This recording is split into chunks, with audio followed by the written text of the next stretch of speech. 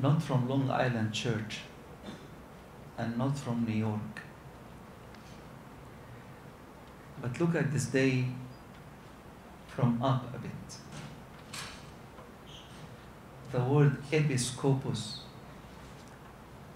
which we use for our bishops and our overseers, epi means from up, and scope is down. So we want God today to give us this episcope on the cross. What happened on that cross? And why the whole earth on that day was shaking? Why was darkness from 12 up to 3 o'clock all over the world? Why everything is like troubled? Why later on we will see those who were in the graves arise and enter Jerusalem? What happened? Let me start by three main things. The first thing is there was a flood, a flood not only for signals of love, but for actual love. Since Adam fall in sin, and we by nature fall, I want to correct something here that we didn't inherit sins from Adam. We inherit a nature that cannot please God. And this nature we inherit willingly. Still, God from up sees every one of us and give him the choice. Will you allow me in your life or not?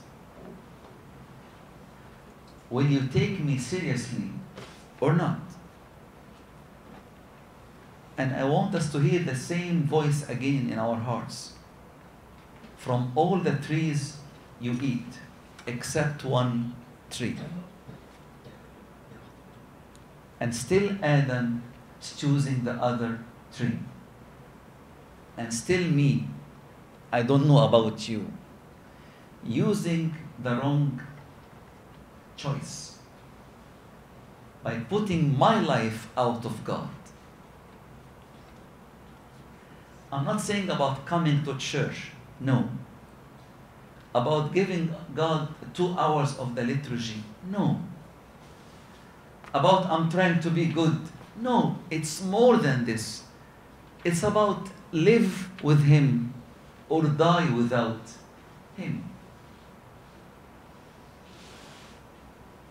He told them in the book of Deuteronomy, Listen, I have given you today a choice death or life. Choose life so you may live. Habibi, God doesn't want us to have a choice of being good. I'm a good person. That's a very little choice. But God meant something bigger than being good. You are alive or you are what? Dead. And death come from separation from life. I read something long time ago. What is the easiest thing that you may do and you're gonna die? Equal, do nothing. Stop eating, stop drinking, stop moving, you will die. And this is exactly what happened when we separate ourselves from God and we remain looking active, looking alive, but to Him from up, He sees me and you what? It's not about changing situation. It's not about getting out you of the trap that you put yourself in. It's not about giving you a future life, a future husband, a future wife, a good house, a good lecture life. That's all in Him. At the time will go. All what you can see here the big towers in Manhattan, the big towers everywhere, all this at a certain point will vanish. And one thing will remain you and him. So on that day, God sees from above. He sees whom he made by his hand, mocking him, spitting on him, rejecting him. And I'm wondering how many of you are making the same mistake by reading and listening to all these words and blaming the Jews and the Romans and Pilate and Judas and ex- exclude themselves from the equation. We just sang the song, Oh Beloved. And I, I hope you focus when he said, Every time I do sin, I'm nailing you again. The cross wasn't 2015 years ago. The cross is still valid. The cross is still valid. And the cross still rejecting. And still those who claim to know him rejecting him. The scribes and the Pharisees, from the book books that they have, they know that this is the Messiah. By time, if you focus on the readings yesterday, the high priest, listen carefully, the high priest told the Sanhedrin, the synagogue, that this man is the Messiah. We know that he is supposed to come to save us. He declared it. But he declared Christ from his tongue, and his heart was after his position and after his authority. Who's doing the same like this high priest? I read the Bible, I see Christ clearly, but I see myself telling him, you, are, you cannot exceed this page. Close the Bible, let my life goes and crucify you again. We're not so far, by the way. Today, Pilate's wife, someone who is out of the family of God, she told Pilate, Don't do bad to this guy. I had a dream about him. You see, love reaches where? Everyone. So God loved the world. So he came to this woman according to her ability in a dream. Did, come, did God send you something once through a dream? Did God reaches you in that level one day? And if he reaches you, did you take him or you crucify him? Did you accept this invitation or you said, no, it is not me? Even Pilate himself, he washed his hands and said, This man is, huh? Is what? Innocent. I checked everything from head to toe his actions, his works, his words. This guy is innocent. And I'm asking you guys, what Christ has done wrong for you? That we reject him in such a way. what Christ has done for you. What he did exactly. Four days ago, I found on YouTube كده a family went to a doctor and sit at the bench outside. And when they entered to sit on the bench, they found a very humble man. he wasn't wearing fancy clothes like us. He wasn't putting expensive per- perfumes. He was not wearing something like excellent. And he was a very humble, silent man. You know what they did? They looked at him like this, and they just keep a distance from this guy.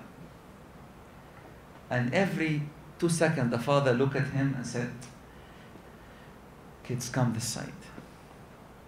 After five minutes, the doctor called them. So they entered the room. Surprisingly, the man was following them. And they sat on the bench, on the, on the seats, and the man was still standing. A doctor told them, Let me introduce. And he told him his name. He is the one who's going to give you his bone marrow to your little daughter.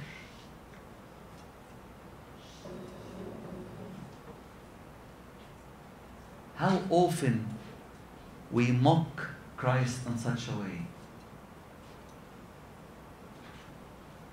How often he come closer to you, saying, I want to save you. Let me clean your dirt. Let me give you the new life. Let me start a new page with you. And us in our, I don't know what to call it. We say what? No, it won't work. So the signal of love reached the first scribes. Signal of love reached Pilate and his wife. It also reaches the disciples. But they were afraid. They couldn't imagine the king will be on the cross. Later on, a signal of love again accompanied them. This is a hope for me and for you if even denying him, like Peter, his hands are still what? Open. You know, denying, denying Christ doesn't mean that you say, I'm not Christian, by the way, just to correct you guys. Denying Christ doesn't, mean that you convert to another religion. No. There are some Christians are denying Christ because they don't want to carry the cross and follow after him, after Christ. They're still living in their comfort zone. And Christ's zone is not comfort. It's discomfort, the old man, whom me and you nourishes for good time. One day, three months ago, someone came and sat with me in a conference, tell me, Abuna, I'm a beast. I'm not a human. I'm a big beast. My words are harsh. The way I look to others is harsh. My heart is very hardened. I'm cursing.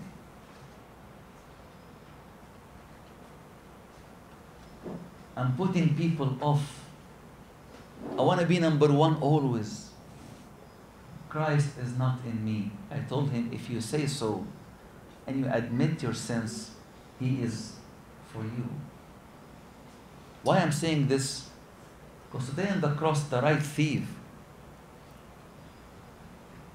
you know, the hardest person to give is the thief. You know that? He cannot give. He like also what? Huh? Snatch and take and compile. So thieves are very selfish. They want everything what? For them. I want my parents to serve me. I want my friends to say good things about me. I need my husband always to praise me. You are God by yourself. Today, the right thief saw the king crucified, down to earth. And he said, Remember me, O Lord, when you come into your kingdom. He grabbed the chance. The other thief was cursing, cursing. And the other one said, This man is my Savior. From up, God is looking again. Who's going to accept him and accept his kingdom? And who will remain what? Rejecting him. Valid till now? Yes.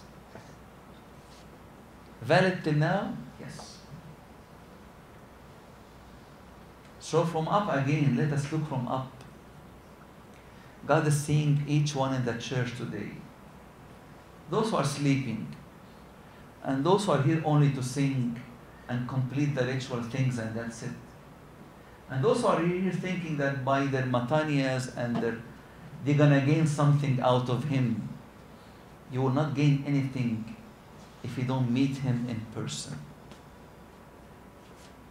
You might read about him, but you'll not meet him till you till you accept him in your hearts and be your king forever.